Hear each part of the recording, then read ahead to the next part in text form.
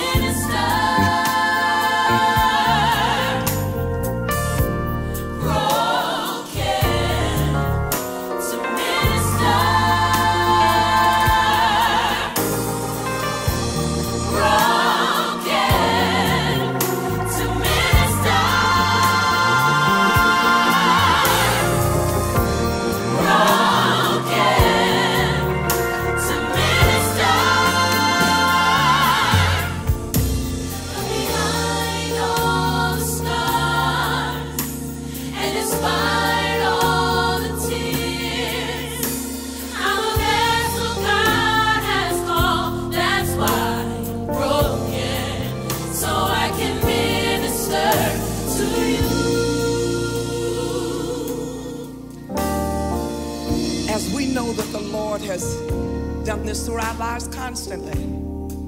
But it isn't unique that your brokenness matches the brokenness of Jesus Christ. When we see him in Gethsemane, would you imagine that someone who's walked on water and raised up Lazarus and cast out devils and demons, could you imagine that he would get to Gethsemane and be broken?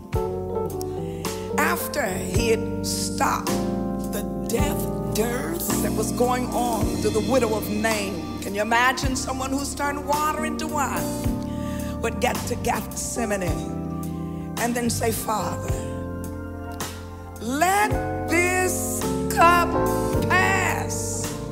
How many times have you been in life and you said, Lord, do I have to go through this? I've been through this, I've been through that, I've been through the other, but now do I really have to go through being discarded or abandonment or being forsaken or being talked about or the loss of loved ones or families or jobs or things that are very significant to us? Sometimes it seems to barrel to the heart or to start to do something good and to be evil spoken of. Sometimes we get in a quandary in life, and that quandary has a tendency to eclipse our good. And we're broken, we just don't know which way to turn. Have you not been there? Well, let me tell you the backside of what you're going through. You're being broken so you can touch somebody, broken so you can heal somebody, broken so you can pick somebody up. You're being broken so you can bring somebody out. Broken so you can establish a life.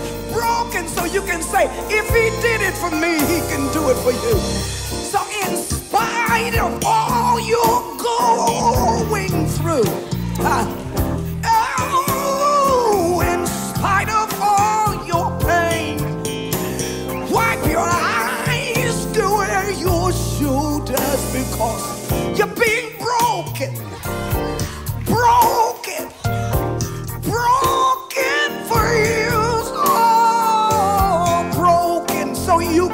heal broken so you can move their pain. So in spite of all your fears and in